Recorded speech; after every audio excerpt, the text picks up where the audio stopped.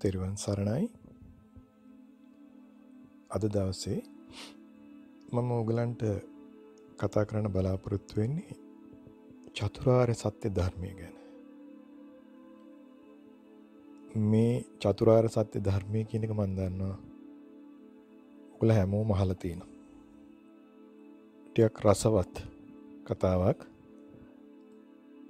මේක පොතපතින් ලබාගත් දැනීමක් නෙමේ මං බෙදාගන්න අද. මේ චතුරාර් සත්‍ය ධර්මය පිළිබඳව භාවනා ගැඹුරු භාවනාවන් ගණනාවක් ඔස්සේ මට අවස්ථාව ලැබුණා අධ්‍යනය කරන්න. මගේ ගුරුවරු එකැනෙ බෝසත් බෝධිසත් පාරමිතා පුරමින් බොහොම ඈතට ගියපු ගුරුවරු කණ්ඩායමක් මට උපදෙස් දෙමින් ඒ ඒ අධිෂ්ඨාන ගණනාවක් අනු භාවනා කරනකුට ලබාගත්ත ඉතා සියුම් දැනීමක් සරලව කියල දෙන්නයි මං අද හදන්නේ. හොඳයි. තකොට අපි දන්නවා චතුරාර් සත්‍යය කිව්වාම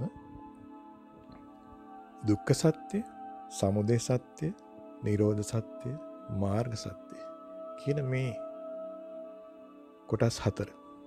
සත්‍යයන් හතර හොඳන්න ඔගල අහලතින නිතර නිතර අහලතින මේ තමයි බුදු කෙනෙක් නිර්වාණ මාර්ගය ගැන කතා කරන්න උන්වහන්සේ අඳුරන දෙන ධර්මය. සියලූම බුදුවරු චතුරාර් සත්‍ය අඳුරන දෙෙන හැබැයි මේක විශේෂත්වයක් තියෙන මේ බුදුවරයාගෙන් බුදුවරයාට මේ චතුරාර් සත්‍යය අඳුරලා දෙනකොට ධර්මයකම වනාට මේක හඳුන්වා දෙන ආකාරය වෙනස්කම් තියෙන. මේක තමයි රසවත් කොටස මංගලට කියල දෙන්න හදන්නේ ඒ රසවත්කම තුළ ඇත්තම මම ලැබුව ලොකු ගැඹුරු අවබෝධයක්. අන්නේ අවබෝධය තම බෙදාගන්න හදන්න මුලත්තික්. තැන් අපි චතුරාර් සත්‍යය කිව්වහම බොහෝ වෙලාවට අපේ අද කතා බහ තුළ අහන්හම්මෙන දුක කියන වචන. දුක්ක සත්‍යය කියපු ගමන් අපි ඔක්කොට මෙන්නේ දුක කියලා වේදනාත්මක හැඟීම් සමුදායක්. මේක ඇත්තරම අංග සම්පූර්ණ නෑ මේ හැඟීම. මන්දන්න ඔගල එක පාට දැන් ප්‍රශ්නාර්ථලකුණයක් හිතේ ඇතිවෙනවා මොකක්දම කියන්න කිය.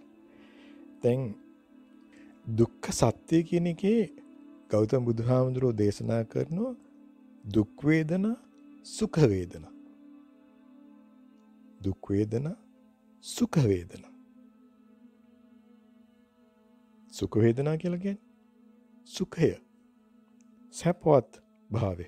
රසයන් සංගීතයාදී දේවල් ආශ්‍රයතය අපිට සුඛ සම්පන්න සැපය සම්පන්න වේදනාවන් සුඛවේදනාවන් කියලගන්න දුක්වේදනාවන් අපිට දැතේරෙනවා දුක අපි අකමැති නී රස කොටස. සුඛය රස කොටස. මේ දෙකම වේදනාව. දැන් අපි තව පැත්තකින් අහල තියනවා මේ උපත දුකක් ජීවත්වීම දුකක් මරණය දුකක්. මේ විදිහට මේ අද බුද්ධ ශාසනය නිත්තරම අපිට අහන්න හම්මනි සියල්ලම දුකක් මේක. හරිම දුක් බරයි මේක කියලතම හිතෙන් දැන් මගේ ගුරුහාමුදුරුත් මට කියලදුන්නේ මෙහෙමයි. සියට අනු නමයක්ම මගේ ගුරුස්වාමීන් වහන්සේ. හැමදාම මේක පින්වතා මේක ජීවිතය කියන කොච්චර දුකක්ද විඳින්නේ. තියල මේ හැමදාමික දැක්කි දුක් බරෝ. එක දවසක් හැබැයි මට කිව පිඟත හැබැයි සුඛයක් තියනවා. සුකහේ ජීවත් වෙනවනං අපිට වැඩිපුර මේ ජීවිතය සංසාරි දුකක් නැහැ මේක රසවත් කියලා. එතුරන්න සුඛයක් තියනව කියලා එදා එක් පාරක් කිවවන් අපි ගරු ස්වාමීන් වහන්ස. තැන් ඊට වැඩිය මං තවිදිකට මෙහෙම කිව්වොත් එක බුද්ධ ශාසනයක් තියෙනවා රේවත බුද්ධ ශාසනය ඒ බුද්ධ ශාසනයේ බුදුරජාණන් වහන්සගේ නම රේවත. මේ බුදුරජාණන් වහන්සේ දැන් ගාතාවකින් ගොත් රේවතෝ රති වද්ධනෝ කියල තමයි ඒ ගාතහ පාටය සඳහන් කරන්නේ. උන්වහන්සගෙන ගෞතුම් බුදුහාමුදුරුව විග්‍රහ කරන්න. මේ රේවත්ත බුදුරජාණන් වහන්සේ චතුරාර් සත්‍යය දේශනා කරනකොට සුඛය කියන එක තමයි වැඩිපුර පාච්චි කර එකට හේතුව තමයි උදන් ශාසනය බිහිවෙන යුගයේ මිනිසුට දුක තේරෙන්නේ. සුකය තමයි ඒ යුගයේ තියෙන වැඩිපුර. තුර උන්වහන්සේ පාවිච්චි කර සුඛ වේදනාව කියන එක වැඩිපුර. දැන් මන් තවත් උදාහරණයක් කිවොත් සිකිය බුදුරජාණන් වහන්සේ. සිකිය බුදුරජාණන් වහන්සේගේ ශාසනය තුළ දුක වැඩි අපේ අපි අද ඉන්න කාලය වගේම හැබැ උන්වහන්සේ මේ දුක කියන එක තව ගැඹුරෙන් විස්තර කර. උන්වහන්සේ දුක්ක සත්‍යය කියන එකට යොදාගත්තා වචන තව තුනක්. අනුයාත අවෂම් සම්ප්‍රයුක්ත කියලා. දුකේම කොටස් අනු කොටස් වලට ගිය. දැන් ඔගල අහල බැලුවොත්තෙම මේ මෛත්‍රී බෝධ බුද්ධ ශාසනය ගැන ඔය හෙල සුවේ කණ්ඩායම නිතර කතා කරනවා. මෛත්‍රී බෝධ සත්‍යයන්ගේ උපදෙස් වලට විස්තර සහිතව සවන්දුන්නොත් නිතර ඔගලන්ට හෙන අනිත්‍ය කියන වචනය අනිත්‍ය මෛත්‍රී උපේක්ෂා කියන වචන තුන හරියට පාවිච්චෙන මෙතන උන්වහන්සගේ තියෙන විශේෂත්වයක් තමයි. කැන මම දැකපු විශේෂත්වයක් තමයි භාවනා භාවනානුකූලෝ මේ අධ්‍යනය කරද්දි මෛත්‍රී බුද්ධ ශාසනයේ අනිත්‍ය කියනදේ හරියට යොදාගන්නවා බොහොම ගැඹුරෙන් බොහොම පුළුල්ල ප්‍රකටව යොදාගන්නවා චතුරාර් සත්‍යය ගැන විස්තර කරන්න. බලන්න එතුට මම මේ පියල දුන්නේ ඒ ඒ බුද්ධ ශාසනය තුළ චතුරාර්ය සත්‍ය ධර්මය සන්නිවේදනය කරන්න යොදාගන්න ආකාරයන්ගේ තියෙන වෙනස්කම්. මේ වෙනස්කංවල තියෙන අපිට අදාළ කොටස් තමයි අපි මේ ධර්මය අහන ඔගොල්ල විවිධ රටහල්ලොල ඉන්නවෙන්න පුළුවන්. විවිධ අධ්‍යාපන යන් ලබල තියෙනවෙන්න පුළුවන්. විවිධ අධ්‍යැකීම් ජීවිතය තියෙනවෙන්න පුළුවන්. මේ තුළින් ගැමරට ගිහිල්ල බලන්නකොට මේ චතුරාර් සතය ධර්මය කියන එක ඕනම තලයකට යොදාගන්න පුළුව සුකහිට යොදාගන්නත් පුළුව දුකට යොදාගන්නත් පුළුව තර සුඛය දුක මේ දෙකම දුක්ක සත්‍යය කියෙන කොටසට අදාලයි තට සමුදය කියන්නේ මොකද මෙන මේ වේදනාව අපි දුක්ක ආශ්‍රිත දුක්ක සත්‍යව ආශ්‍රිතව ඇතිවෙන සුක හෝ දුක්ක වේදනාව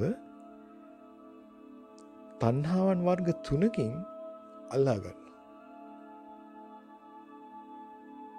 මේ අල්ලා ගැනීම තමයි අපි සසර ගෙනියන් අපි සංසාර ගෙනියන මෙන්න මේ අල්ලා ගැනීම. මේ තන්හාවත් තුන අඳුරල දෙනවා කාමතන්හා භවතන්හා විභවතන්හා කියලා. කාමතන්හාවන් කියලා කියන මේ සුඛ වේදනාව දුක්ක සත්‍යයේ සුඛයක් සුඛවේදනාවක් වෙන්න ඇතිවුණහම මේක කාමතන්නා විසින් අල්ල ගන්න දැන් අපි අපි සිින්දුවක් කානකොට නැත්තන් ලස්සන පාටක් දෙක්කාම් ලස්සන චිත්‍රයක් දැක්කාම ලස්සන තැනකට ගිහාම මේ ඇස්කන් නාසාදී ඉන්ද්‍රියන්ගෙන් අල්ලාගන්න රූප උපාදාන කරගන්නවා කියලා අපි කියනවා. මෙන්න මේ කාමතන්හාව කියන තන්හා විශේෂය තමයි මෙතන ක්‍රියාත්මක වෙන්න. ඒකින් තමයි මේ ලස්සන පාට අල්ලගන්න අපි ලස්සන කියන්න රසවත් කියන එක එක වැඩි වැඩියෙන් අල්ලගන්න තරි කාමතන්නා භවතන්නා භවතන්හා කියල් කැන ඇති කරගන්න තියෙන ආසාාව. දැන් අපි එකම පාට දැක දැක ඉන්නකොට අපිට එපාවෙන එක් අපකින් අයිෙන් නොල් නැත්තන් තව වෙනත් දෙයක් හොයාගන්න. මෙන මේ අලුත් දෙයක් හොයාගන්න අලුත්කම තමයි භව කියල කිය එකම රසය අපිට ගැලපිලි අපිට එකම රසේ කැමතින අපින් එකම දුකේ ඉන්නත් කැමතින දුකටනම් කොහොමත් කැමතින තොට භව කියල කියන හැමදෙසෙම අලුත් ඇතිවීමක් හොයෙන ගතිය. විභව. විභව කියන එක ඇතරම කොටස් දෙකක් තියෙන එකක් තමයි නැති කරගන්න කරන උත්සාහය. අකමැති දෙයක් ඇති වුණාම එක ගැලවිලයන්න හදන උත්සාහයක් තියෙන දුක් දුක්බර දෙයක් දැක්කාම එකින් අයින් වෙන්න ඕන අපිට. අන්න. විභව තන්හාව ක්‍රියාත්මක වෙනවත්තන තව විභව තන්නායි තවත් කොට සක්තියෙන ඇතරම මේ මේක නැතිවෙනව කියලා නොදන්නකම්. ඕනම දෙයක් නැති වෙන ඇතිවෙන ඕනම දෙයක් නැතිවෙන හැබැ මේක නොදන්නකම විභවතන්හාව කොටසක්. තිබෙන්නර මං කලින් කියපු අනිත්‍ය තුළින් චතුරාර් සත්‍යය අවබෝධ කරගන්න යනකොට මෙන්න මේ කොටස වැඩිපුර පැහැදිලියෙන තට මේක පහසුවෙන ඉතිං ඒ තමයි අපි කතා කර දුක්ක සත්‍යය සමුදය සත්‍යය නිරෝධ සත්‍යය නිරෝධය කියලා කියන්නේ? මේ වේදනාවල් අල්ලගන්නේ නෑ දුකත් ඇතිවෙනවා සුකයත් ඇතිවෙනවා හැබැයි මේක අල්ලගන්න නෑ සමුදය නැති වුණහම තන්හාව නැති කරහම මෙතන සම්පූර්ණ නිවීමක් ඇතිවෙන කිසිම දෙයක් නෑ මෙතන. හිස්. සමාරලාට සමාධී කියන තත්ත්වය ගැඹුරු සමාධයට ගියාම මෙන්න මේ තත්ත්වය තේරුම් ගන්න පුළ යම් සරල වශයෙන්.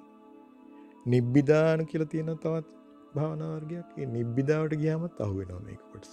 හිස්කම කියන නිරෝධය. මේක වේදනාවල් නැහැ. හරිම මේක සුඛයක් කියල කියන්න බෑ. සුඛ වේදනාව උද්දෑ මේක.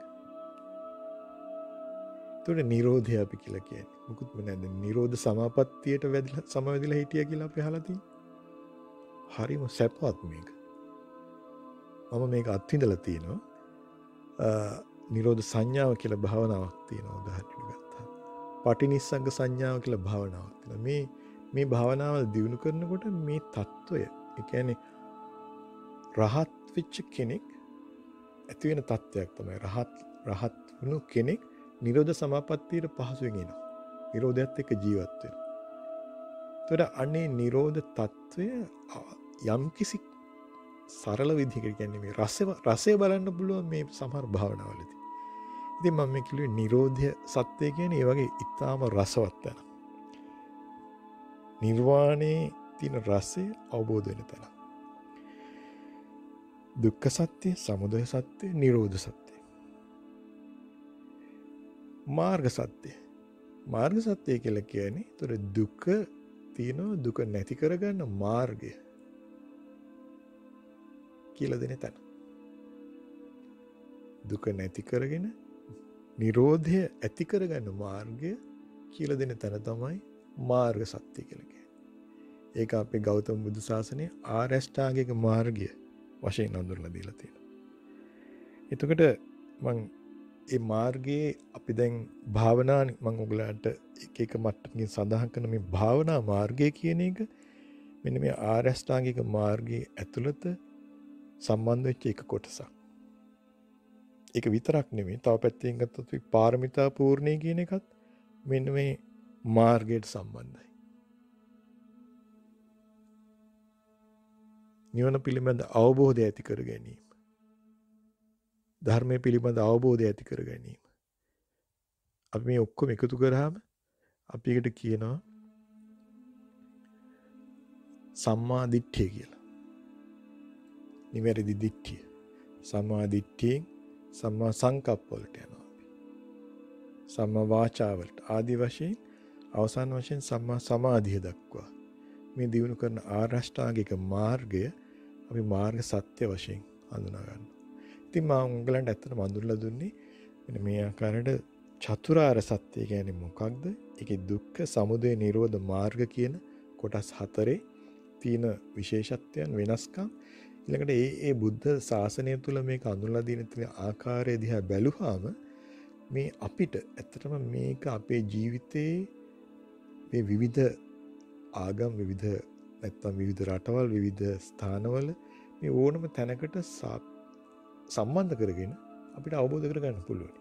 ඒ අවබෝධය තුළින් අපිටන්න මාර්ග සත්‍යයට සම්බන්ධන්න පුළුවන්. අනිතනයි වැදගත්කම්. මේ මාර්ග සත්‍යය තමයි නිර්වාණයට අපිය ගෙනියන් චතුරා සත්‍ය අවබෝධ කර ගැනීමේ තැනට අපිය ගෙනියන්. ඉතින් අපි භාවනාව කියන්නේ අන්න ඒකට උපකාර කරගන්න එක මාර්ගයක්. ඉතිං අද දවසට මෙතරකින් මං නිම කරනවා මං ඊළඟ ස්ථානයේදී ඊළඟ භාවනාවාරයේදී උකුලන්ට බලාපොරොත්තින අඳුරල දෙන්න ලෝබ දවේශ මෝහ කියන කොටස්තු හොඳයි. තිරුවන් සරන්නයි